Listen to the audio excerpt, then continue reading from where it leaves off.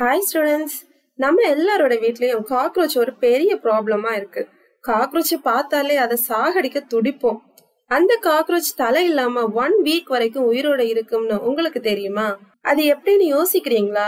Cockroach பாடியோட lateral சைட்ல eight purse of ஸ்பைராக்கிள்ஸ் இருக்கும்.